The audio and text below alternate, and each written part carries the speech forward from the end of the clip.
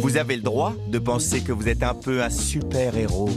Parce que vous avez le droit d'agir plus durablement pour le bien de la société. Parce qu'avec la Banque Postale et son assurance vie, vous avez le droit de choisir des investissements socialement responsables. C'est ça, être banque et citoyenne. La Banque Postale.